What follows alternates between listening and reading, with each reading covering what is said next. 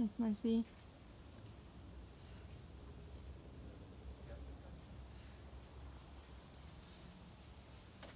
Good gal, come on.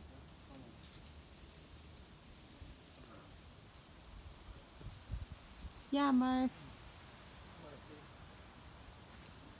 Yahoo!